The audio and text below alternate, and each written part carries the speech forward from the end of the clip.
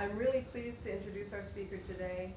Um, and I think it's interesting, well, I get back to that, but I think it's interesting that the title of this series is called Social Movements, People Making History in the 21st Century.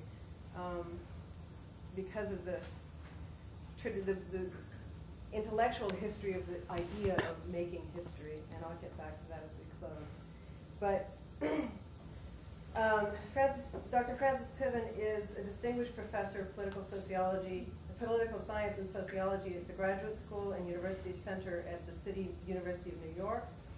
Before that, she taught at Boston University, at Columbia University, at the NYU Law School, the Institute of Advanced Studies in Vienna, the University of Amsterdam, and she was a Fulbright professor at the University of Bologna.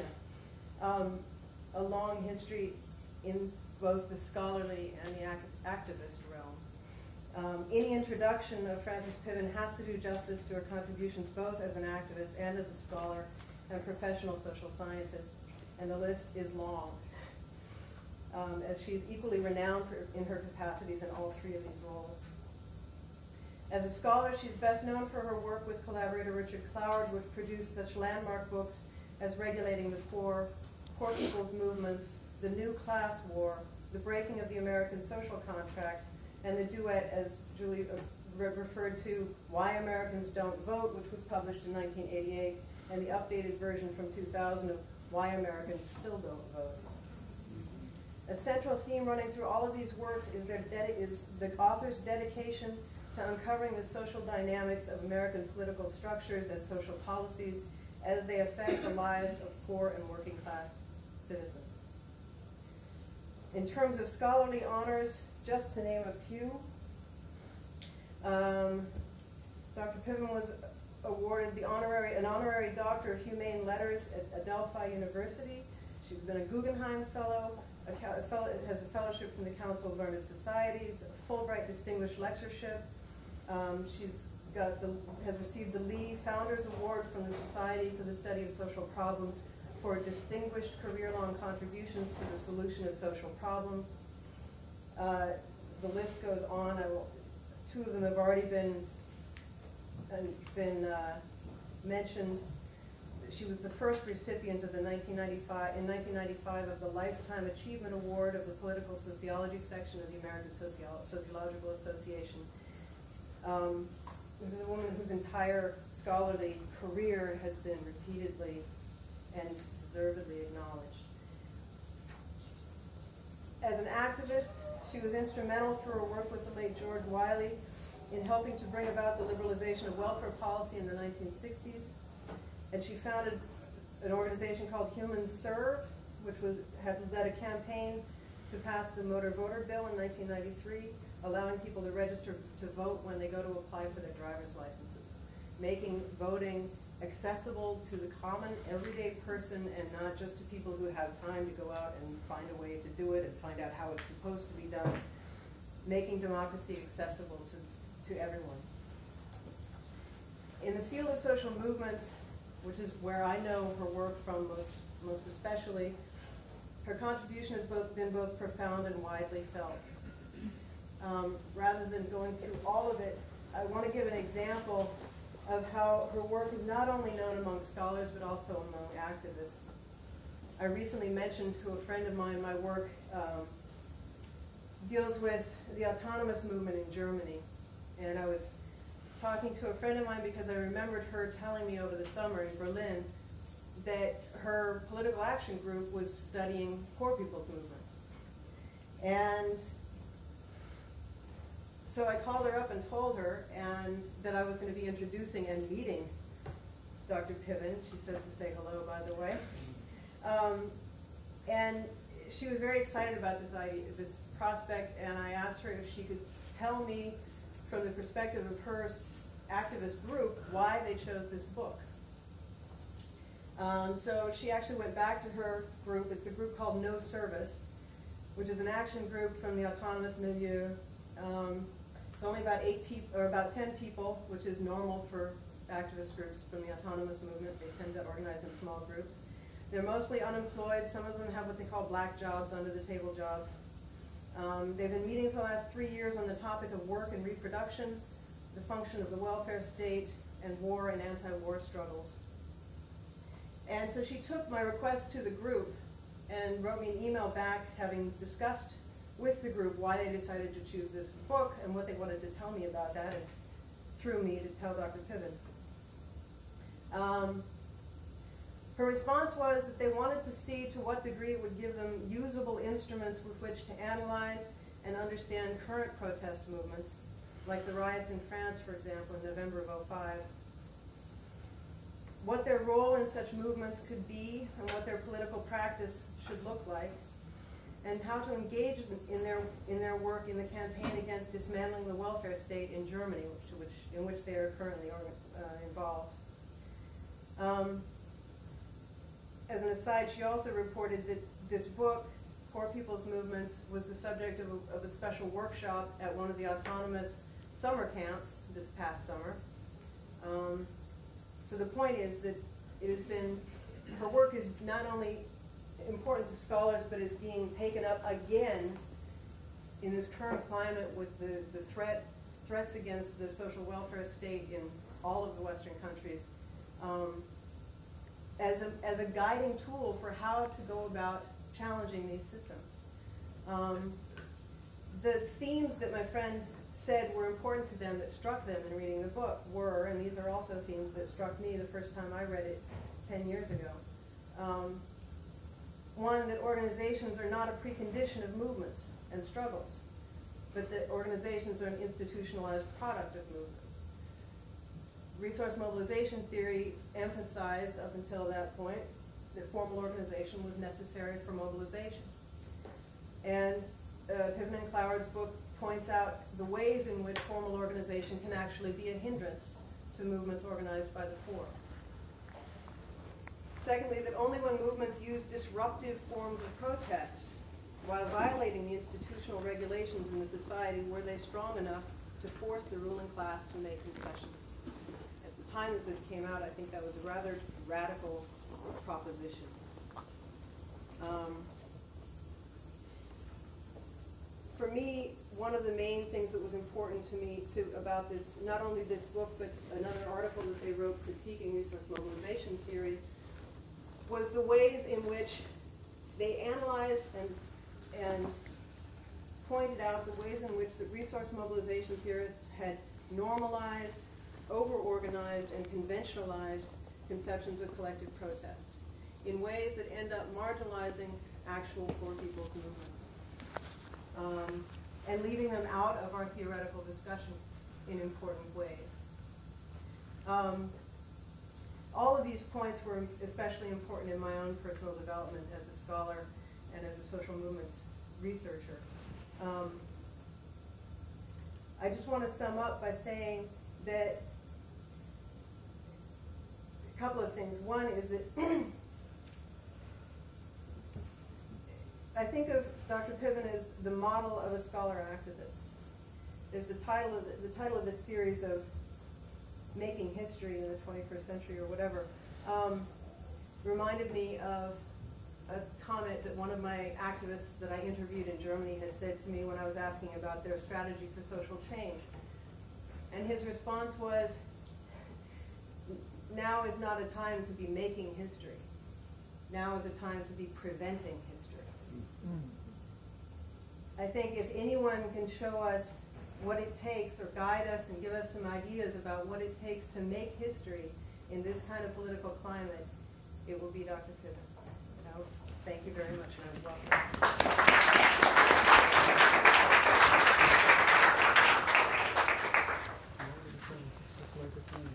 Yeah, why don't you fix it?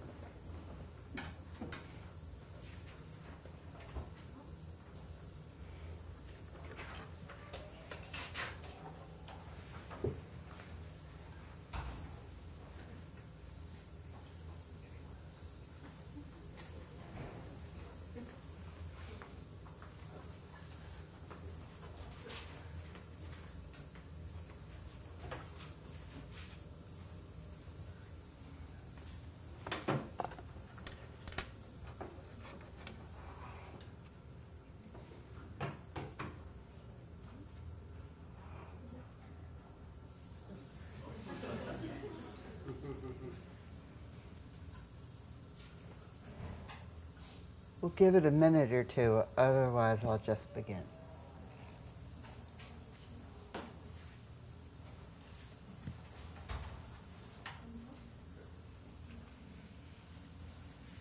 That was quite a challenging introduction.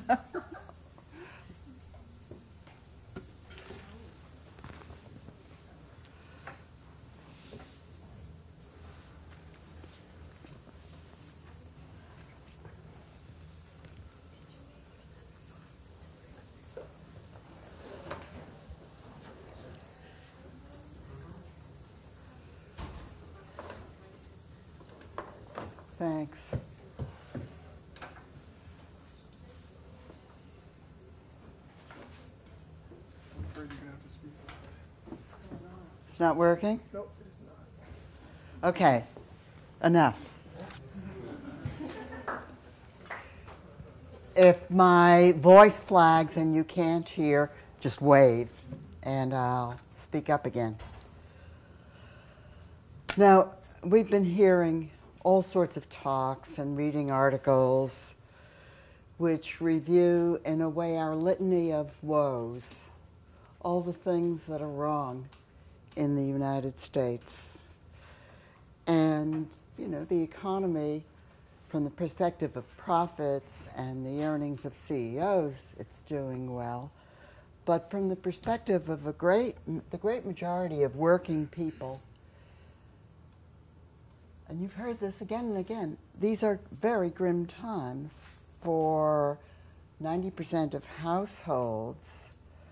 Uh, income is stagnant or shrinking at the same time as healthcare costs are rising. To keep household income stagnant or shrinking a little bit less, women go to work, but who pays for childcare? So costs are going up. Heating costs are going up, transportation costs are going up. And households are working, this is something that Julie uh, has written about to great acclaim. Households are putting in more and more hours of work. At the same time, the big unions, the fabled unions that grew up in the United States in the 1930s and 40s are on the ropes. The programs we call the safety net programs, instead of calling them the welfare state, the programs uh, that provide some in income security for very poor people or for old people or for disabled people are being chipped away. More people are poor, especially in under uh, the uh, regime of George W. Bush. And what's really kind of shocking is that the poorest of the poor are poorer still. More and more people live at half of what we call the poverty level income. The big infrastructures on which we all rely are corroding, workplace safety is jeopardized, pollution is uh, pollution controls are in disarray, and and this is not my subject today, but how can you not mention war? The president gave a speech two days ago promising Americans unending war on what he calls terror, with untold costs for us in terms of lives lost and wealth down the drain, but also horrific costs for people elsewhere in the world. Now, why is this happening? Why are things going so sour? Uh, politics plays a very large role in it. You, often, you know, we're given explanations about the rise of a global economy, uh, international uh, competition, international pressures on labor, and so forth. But politics in the United States plays a very large role in these economic developments. Politics produces public policy. Public policy has a lot to do with why unions are shrinking because unions are not protected by the National Labor Relations Board or by the legislation that was crafted in the mid 1930s and which has to be updated if it is going to be useful in protecting the right to unionize. Or public policies which roll back taxes on the very wealthy, or public policies which deregulate American corporations and which take large numbers of workers outside of take them out from under the protections of the National Labor Relations Act or policies which allow the real value of the minimum wage to erode or policies which shift expenditures under existing programs from providing benefits to people, American citizens who need whatever they need, who need health care or need other kinds of services, to providing subsidies for private corporations under the framework of public policy. At the same time as, of course, our tax monies are being shifted to military expenditures, and we've seen cuts in scores of programs constantly chipped away, uh, like Medicaid, for example, food stamp program, and so on. You can see this kind of shift.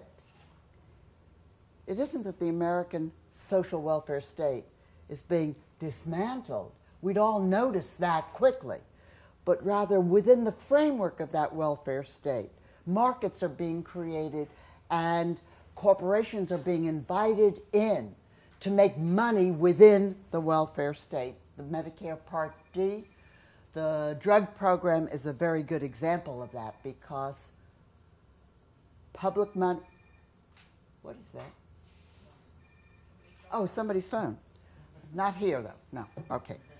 Uh, Medicare Part D provides a very chaotic kind of subsidy for uh, prescription drugs for seniors. You get it until you spend a certain amount, and then you don't get any subsidy, and then it kicks in again after you spend a few thousand dollars more. But what it also does is it gives large subsidies to pharmaceutical companies. It also prevents, by law, the government from trying to hold down prescription costs, from using its power as a big buyer of prescription drugs to hold down costs, and it also prevents the importation of drugs from lower cost producing countries like Canada. So there's good reason to be discouraged our politics has turned against us, and a lot of people are very despairing. We talk about a lot. We talk about the erosion of American democracy.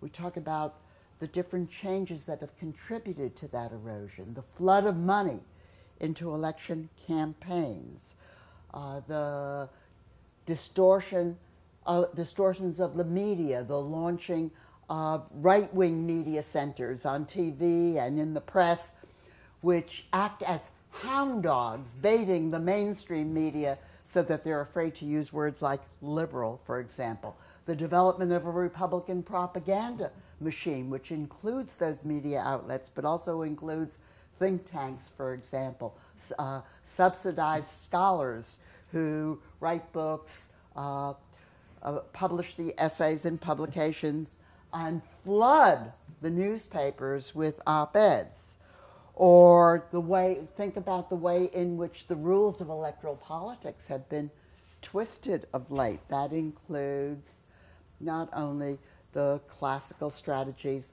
of gerrymandering, but it includes new restrictions, for example, on voting, including the requirements that are spreading across the states that people present photo IDs if uh, if they are first time voters. So, uh, be, for the simple reason that poor people are much less likely to have photo IDs, and poor people are much more likely to vote against the Republican machine. Or think even more importantly about the way in which lies and propaganda, including propaganda that now includes the creation of terrifying events have been used to override public opinion. because, because the Amer- American public opinion on these sorts of issues has not changed hardly at all in the last 30 years. Americans still believe that government is responsible for ensuring the economic well being of ordinary people. Uh, Americans still think that poor people should get help. Americans think that the aged should be taken care of, that the sick should be healed, and that government is responsible for all of that. Uh, but nobody is thinking. Nobody thinks about that when the emphasis of our leaders is on terror alerts, uh, strange, unknown threats that are posed to the United States from places and people that nobody can assess on the basis of their own experience. Well, so people get discouraged. They even talk about an American fascism that is overtaking the United States. But I think we ought to be careful when we make such sweeping statements. We ought to be careful that we don't misread what was much of American history.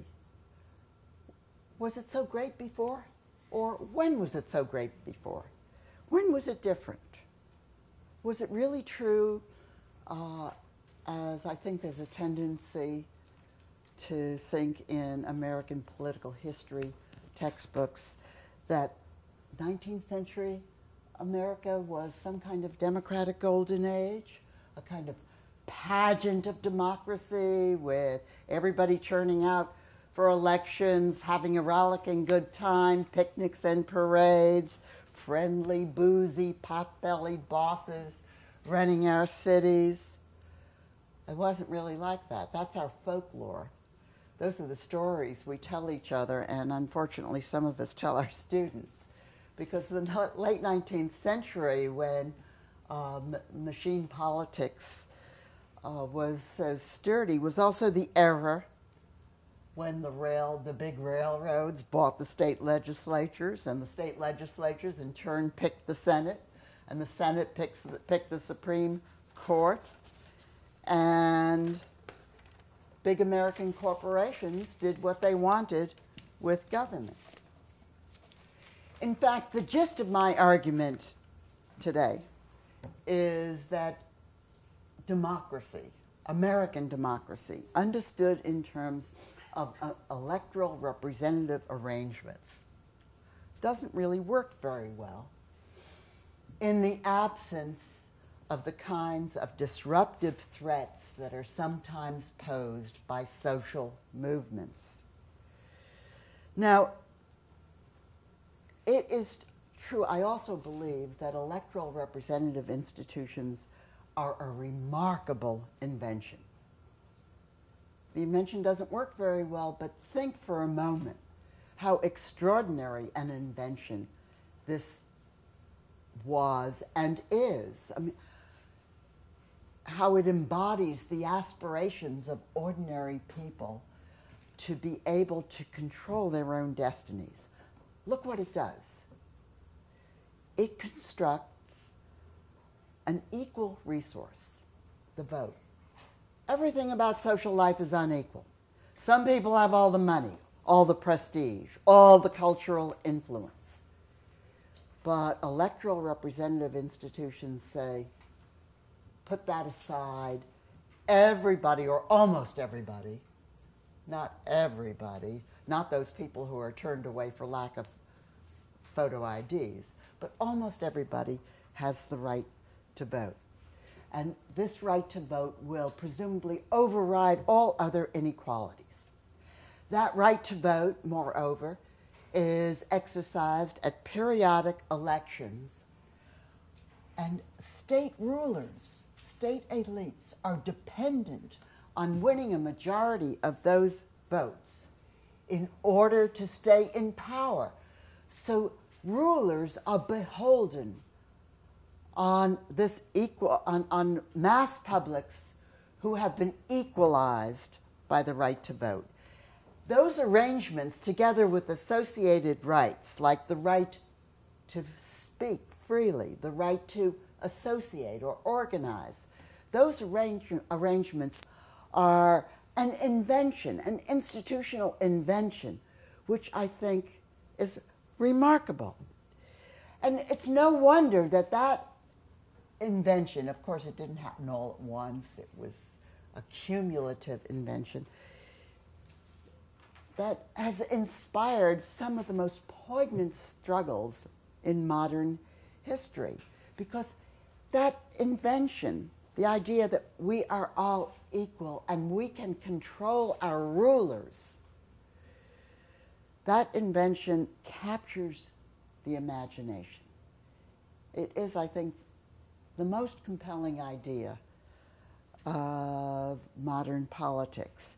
And even today, it inspires people. Think of the struggles in Haiti, how people, over the last decade or so, people have actually braved death to exercise the right to vote, or the struggles that went on in the Philippines and are still going on in Nepal. Because this set of institutional arrangements holds out the promise that the formidable powers of the modern state can be directed by ordinary people. An amazing idea. Now, of course, as I said, it doesn't work very well. And it doesn't work very well because votes are not in the real world the only currency that operates in this set of institutions. Hypothetically, electoral representative institutions are constructed and insulated from all of those inequalities that exist in the real social world. But that's only hypothetically.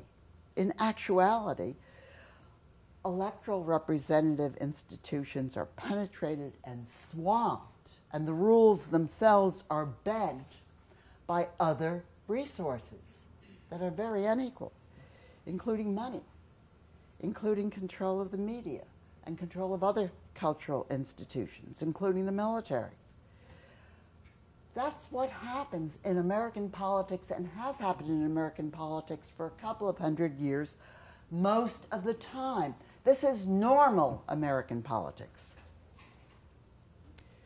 Still, it couldn't be the whole story because we have another kind of history too. There is a history of egalitarian reform in the United States, a history that begins perhaps with the American Revolution, that continues, I think, gloriously in the abolitionist movement and through the Civil War. And that also wells up again in the 20th century in the social movements and reforms of the New Deal and the Great Society. In all of those periods, in each of those periods, I think it was defiant collective action. And the great drama of co- defiant collective action, the communicative power that resulted from that action, and the disorder, the institutional breakdowns that defiant collective action threatens, whether it's the mass strike or the riotous crowd or the street blockade, and also the electoral reverberations of those actions that fueled these singular periods of egalitarian reform in American history. Think about it for a minute. The mobs of the American Revolution were inspired by the ideals of radical democracy. They really believed that not only that ordinary people should have the vote, but that they should monitor their representatives, that their representatives should be close to them, that they should have access to everything they said and did in the legislature, that the legislature should be the main authority, and that the representatives should come up for election every year. Uh, the, this, they were inspired by this sort of vision of how a people could control their own destiny. And they didn't win.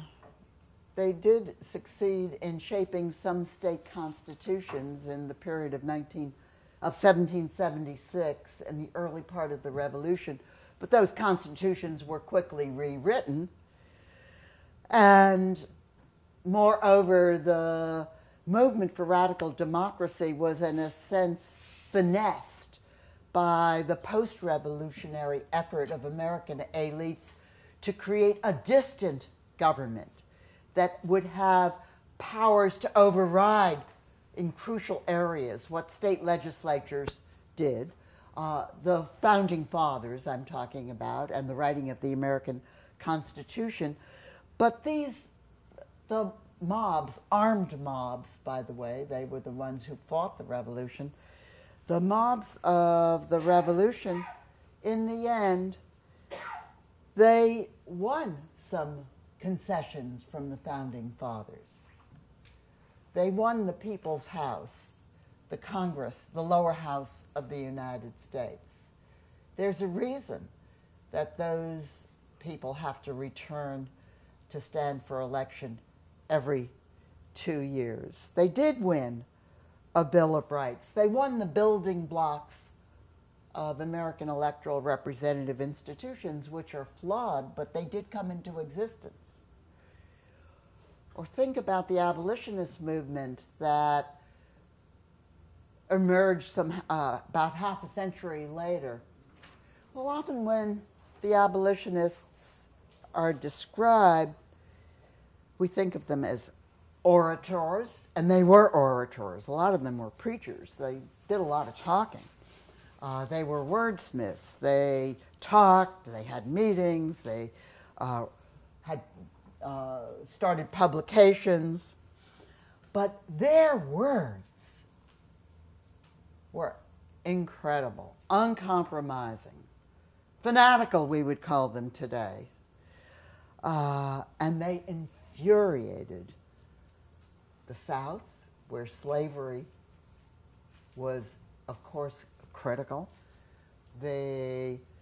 Uh, the Garrisonian idea that the movement could only have one goal, that it couldn't muddy its agenda with what we call today a multi issue uh, uh, program, that it had one goal, which was emancipation immediately. Now, the, the wordsmiths, the orators, who sometimes provoked lynch mobs,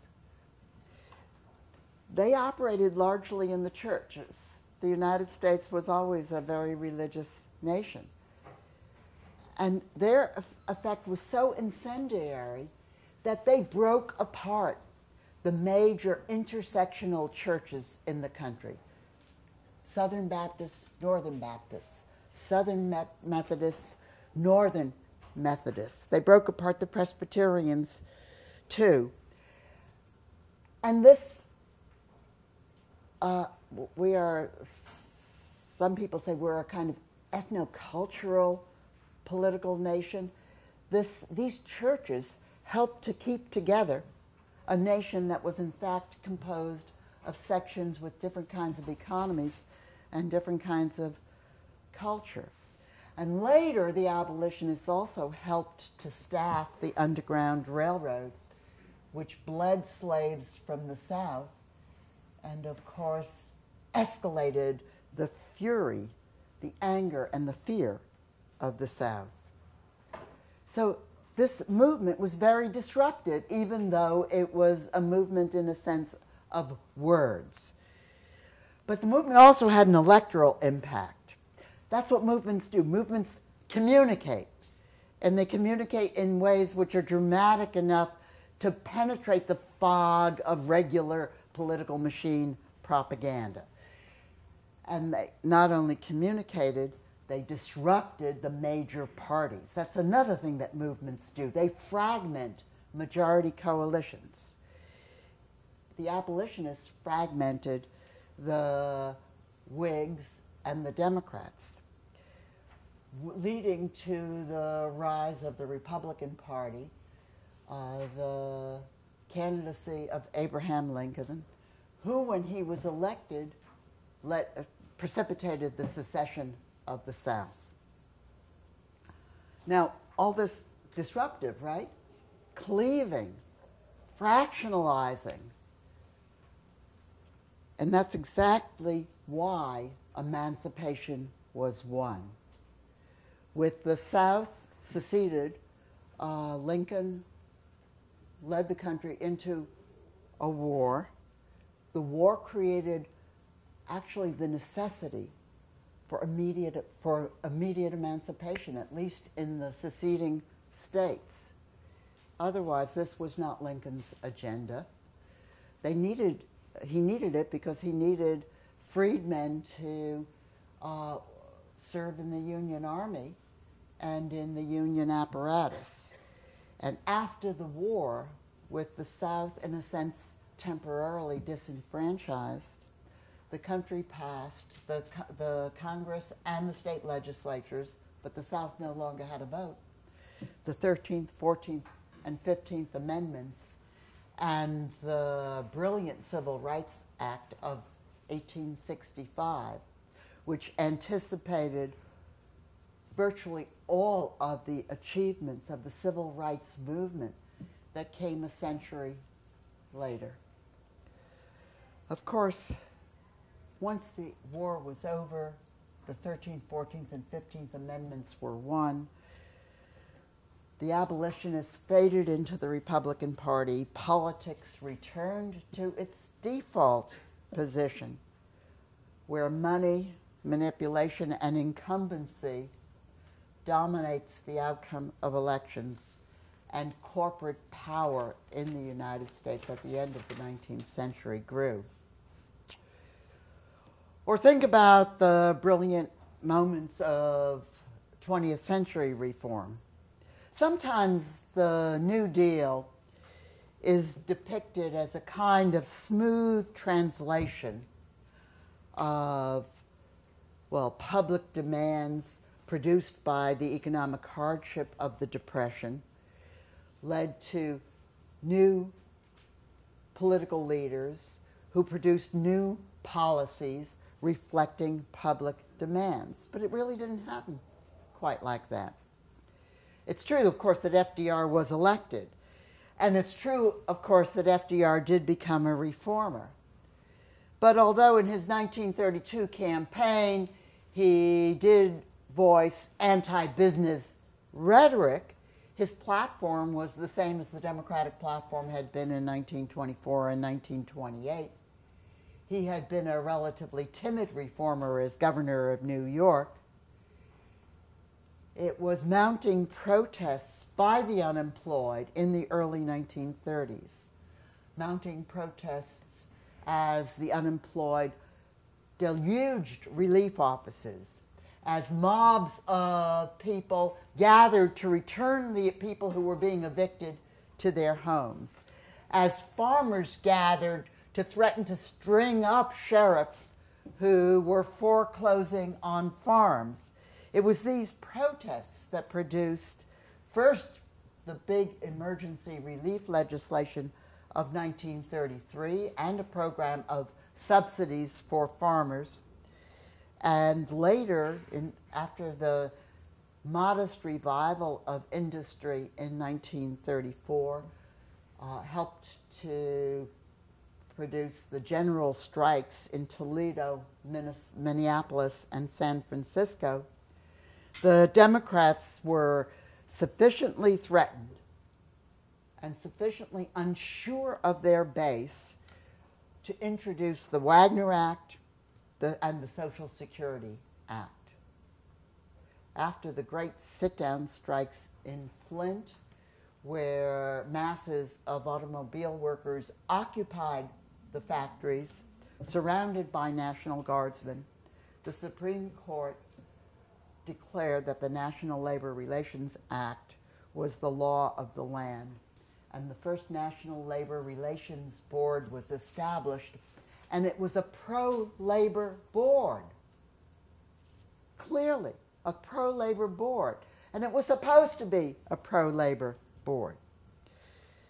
Again, of course, once the protests subsided, once American business regained its self confidence and its, you know, its footing in public esteem, which it had lost in the 1930s, that's why we got that legislation. Business was cowed. Uh, the gains of the National Labor Relations Act were gradually whittled away, partly by legislation, Smith Connally, Taft Hartley, and also by the character of National Labor Relations Board appointments. And by the 1980s, business and its representatives in government were targeting the Social Security Act as well. Or think about the 1960s and 1970s. Again, it was a period when there were many important reforms, including women's, new women's rights, feminist rights, environmental gains, workplace safety and workplace safety enforcement for a change, and the tamping down of the war in Southeast Asia an incredible array of victories. Uh, and I didn't even mention civil rights, in, through which the victories of the abolitionists were in a way reclaimed. Now, these gains reflected powerful social protest movements, including the feminist movement, environmental movement, the resurgence of worker militants in the 1960s and early 1970s, and a ferocious anti war movement, particularly the GI anti war movement. Now, there are these movements cluster, and there are reasons that they cluster. Uh, some movement analysts have referred to this phenomenon as cycles of protest. Sometimes the movements are demeaned by being uh, said to imitate each other, and there is some imitation that goes on. You can even find protest movements of women in China where the women take on, in a sense, the apparatus of the mothers of the disappeared in Chile. Uh, there is some of that, and what's wrong with that? But much more important in accounting for the clustering of the movements is, I think, that the pioneering movement reveals the vulnerability of the regime, and especially its electoral vulnerability. Well, the pioneering movement of the 1960s and 70s was the Black Freedom Movement. You know, if in the background of the 1930s movements, insurgencies, there were, the background was importantly shaped, of course, by the Depression and by hard times the ba- background of the black freedom movement was, was also in an economic transformation. The economic transformation of the South, which reflected agricultural mechanization and also large scale subsidies to big landowners for not using their land. And these two uh, programs, mechanization, by the way, some of which was paid for by the federal government, and uh, subsidies for not growing crops led to the massive ejection of the black rural labor force from the plantations of the South. Now, that ejection produced new political resources. It's true that it produced terrible hardship, too.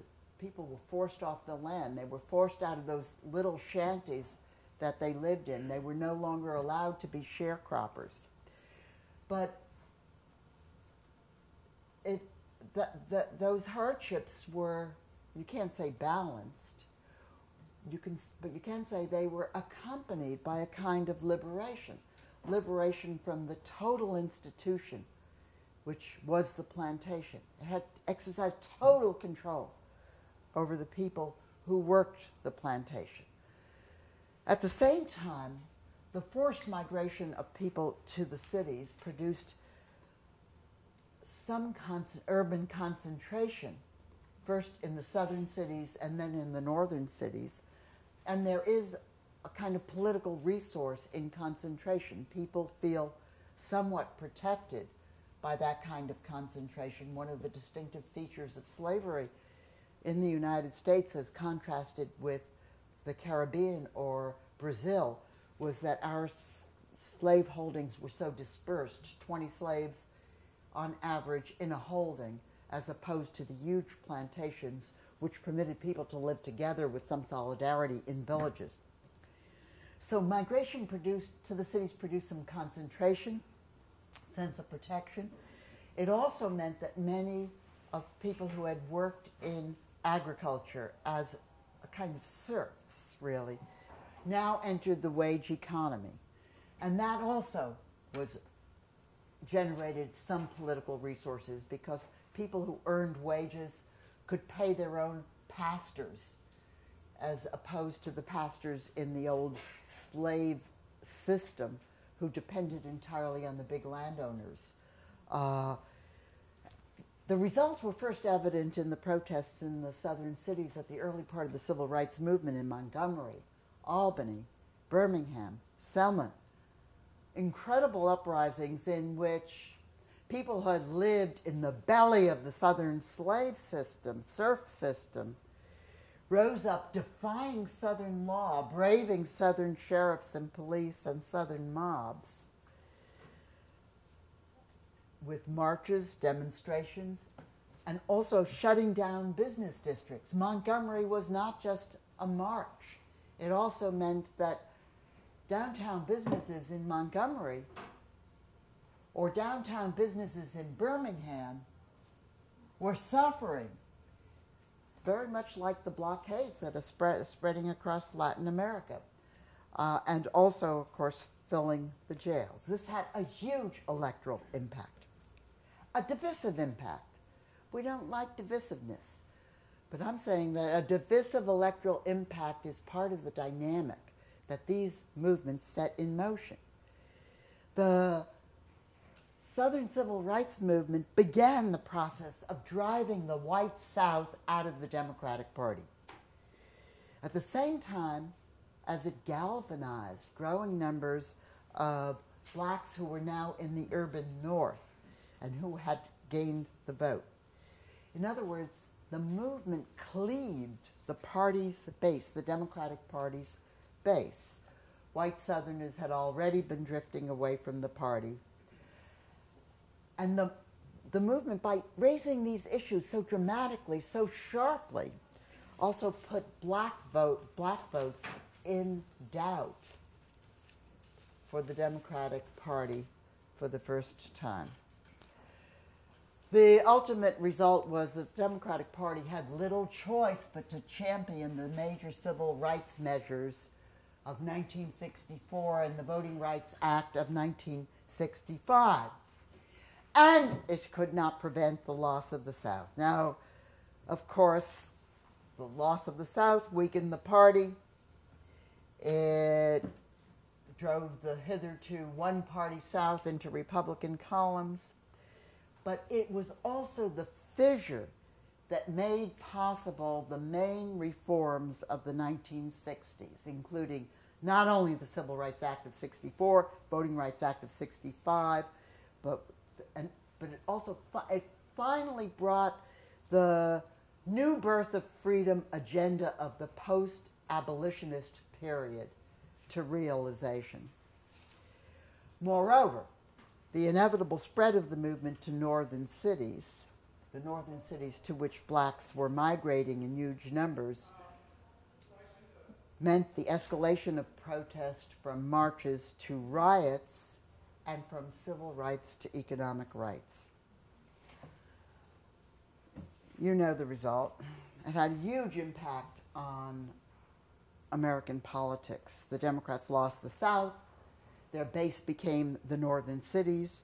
They responded with the first expansion of the American welfare state since the 1930s, Medicaid and Medicare, new housing programs, food stamps, pro, food stamp programs, WIC, the Women's, Infants, and Children's Feeding Program, the expansion of welfare, and so on. But somebody's going to say, if you have a question period, the protests subsided. And then what happened? Well, maybe the protests subside is inevitable. There's a kind of internal exhaustion. There are also the processes of co optation and repression that the movement sets in motion. And there are also the victories of the movement, which in a way rob it of legitimacy. Everybody says, Don't you people have enough? Didn't you win enough? What more do you want? And once the movement subsides, or once the movement subsided in the 1970s, the American right regrouped with business in the lead to roll back and refashion the reforms of the 1960s and early 1970s. By 1980, Ronald Reagan was in the White House, 1981. Uh, he had achieved in that election campaign the uniform support of American business. All the money went to Reagan.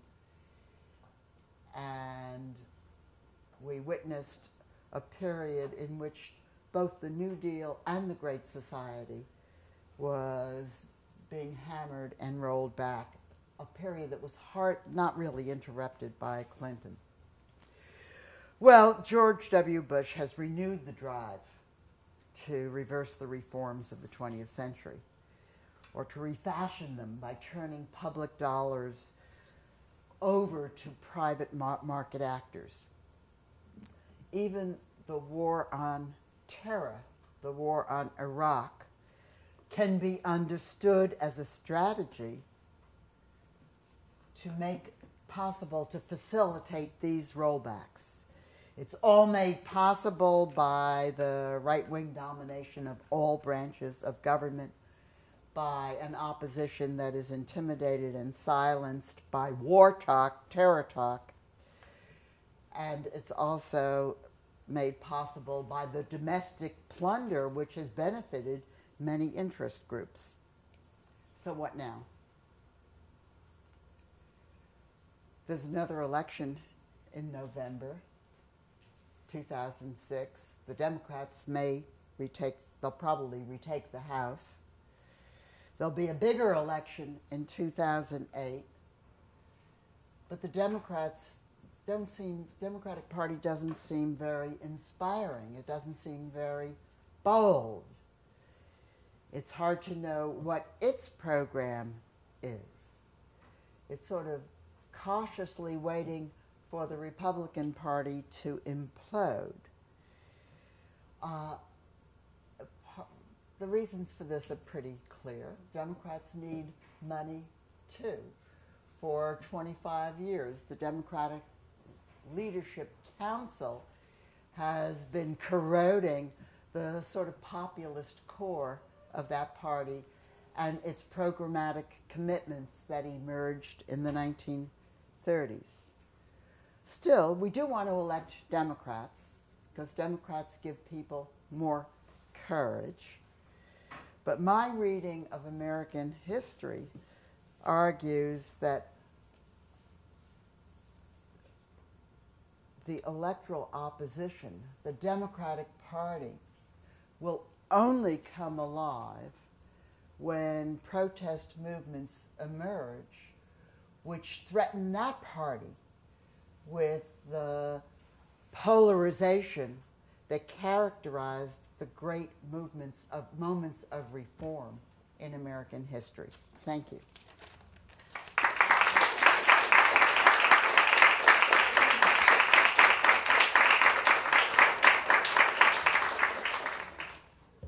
Questions? Contradictions? Yes. Um,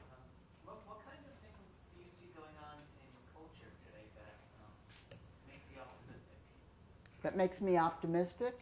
Yeah, just things that are popping up in uh, popular media or just in culture in general that sort of makes you um, see that there are some positive things on the horizon.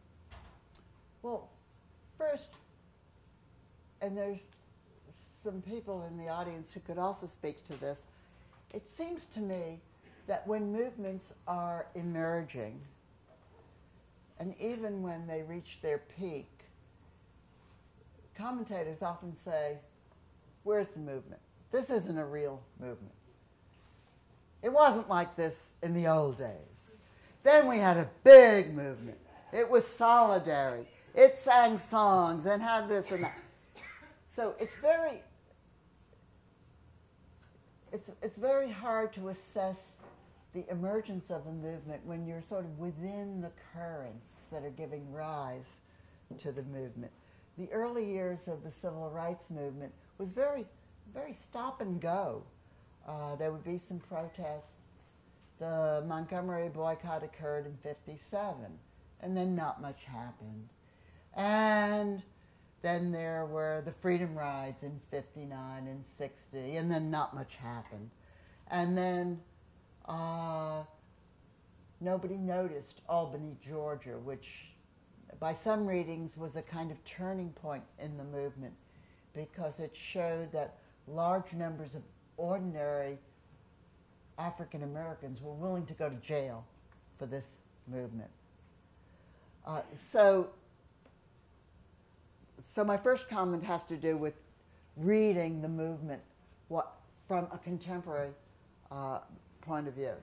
My second is I think that we have a lot of opposition, that the culture, there's a lot of oppositional culture in uh, music, song lyrics, in film. Uh, I don't know how much this is something I really don't know, and maybe, Bill, you want to comment on this. How this translates into political action. I don't know. I've always wondered about it. I mean, does a political film like Missing, which showed the role of the American government, especially the CIA, uh, in Chile, does that lead people to join the anti intervention movement in Central America? I don't think so. But what contribution does it make? And Bill, do you want to comment on that?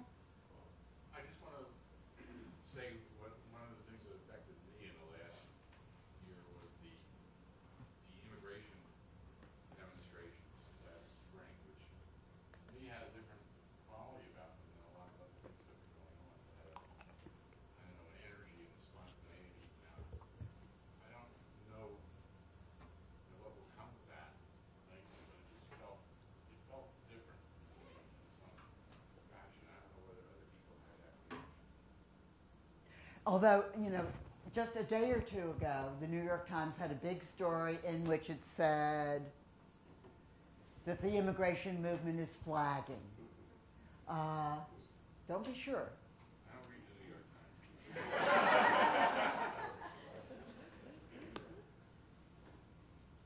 Yes. I'm, I'm curious to hear a little more about the, what, the point that you left us with, with, which is that if there's enough disruptive protest to, aimed at the Democrats, that actually splits the Democratic Party, that that will somehow translate into the, the Democrats that are left in power somehow being able to push through reforms. And my question is, in the sixties, when that happened, it seems like even after losing the South, the Democratic Party had enough power to be able to push through. But it seems like now, with the Republicans controlling all three branches of government, splitting the Democratic Party is going to lead to. You I threaten mean, that's splits. what led to the, the You can't- Republicans having all three branches of government, arguably, Yeah. because of Nader's campaign. Well, it's Um, the, it's the threat of the split that uh, produces the threat of cleavage in, you know, in, we have a, a two-party system in the United States which means that to win major office, a politician has to win a majority. This is uh, a sort of unlikely feat in a way in a country so riddled with differences, with divisions. Uh, and in order to do it, politicians avoid issues. I mean, they plaster together coalitions that are pretty unlikely. Uh, and those coalitions are susceptible to uh, divisive influences when new issues are raised, issues that politicians try to avoid. It doesn't mean that the division is actually realized in terms of a explosion of the party. Uh, it may or may not be. Yeah, and it's worth thinking through what would the divisions be. I don't think that uh, I don't see a major cleavage like the cleavage between the northern and southern wings of the Democratic Party emerging. But if you don't have that kind of electoral politics, the kind of electoral politics that's set in motion by movements, then you have the endless uh, efforts to win people who are presumably in the middle. Uh, so that the Democratic Party leans toward Perot voters. Uh, and the Republican Party does the same. Look at the spectacle, for example, of the Republican National Committee giving all that money to Lincoln Chafee in Rhode Island. Uh, that's because they're fighting for that, they're contending for those um, uh, swing voters in the middle. Produces a very sort of contentless politics. Yes. Um, I'd just be interested in what you think about movements, and this is just from my experience of seeing a dividing point in a peace and justice movement where people are, some people are more trying to say, let's reform the Democratic Party and push it in the direction we want, versus let's build a third party, be locally, statewide, nationally. Who do you see as viability of a third party system, you know, three-party system in this country, or do you see we have more hope in reforming Democrats? Well, I think it's unlikely uh, that we would we, we would develop a stable three-party system. I think that the rules of our electoral game uh, make that extremely unlikely. It's never happened in the past, uh, and accepting with, with the emergence of the Republican Party in the 1850s, and that was uh, the Republican Party filled the vacuum that had been left by the disintegration of the Whigs. So it was again a two party system. That said, I think that third parties sometimes uh, serve a very good political purpose in American politics because, in a way, they're a little like movements. They raise the issues that the, both major parties want to avoid and they threaten to peel off voters, some voters, with those appeals. That's what Nader was accused of doing in the 2000 election, peeling off enough voters with his more left liberal appeals so as to give the presidency to George W. Bush.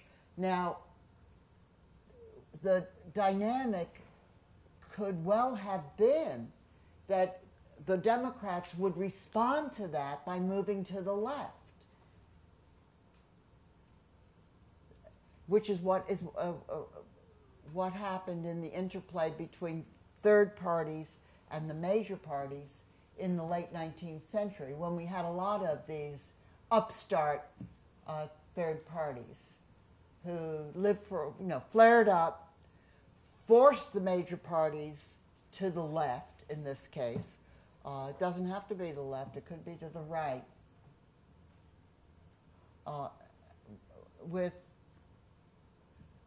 with the consequence of juicing up American electoral politics, because otherwise it's completely pallid. The public is fed non issues that have to do with the flag and sunrises and things like that, while the government goes to war. Yes.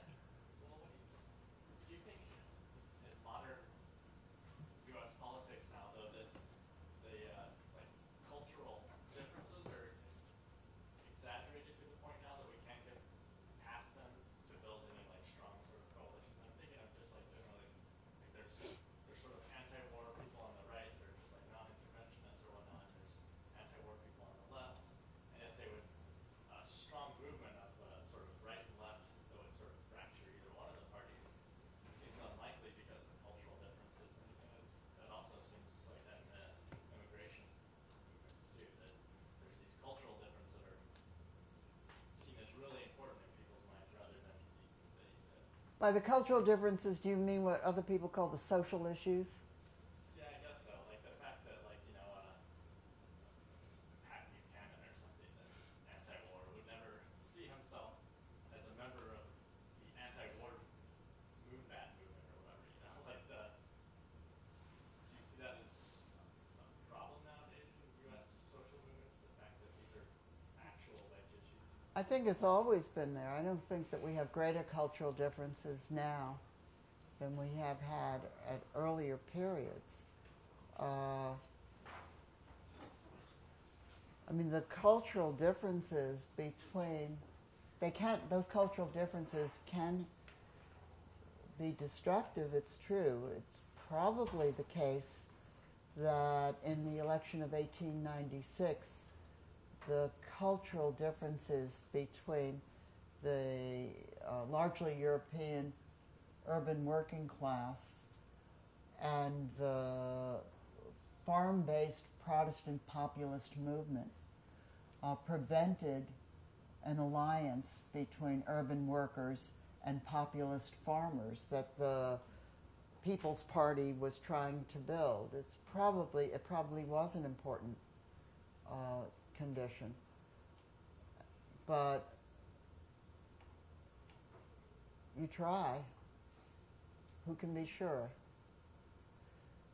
Sometimes, you know, uh, uh, those cultural di- differences are overridden all the time by the major parties. I mean, it's true they do it by talking about nonsense, but but they do override them all the time.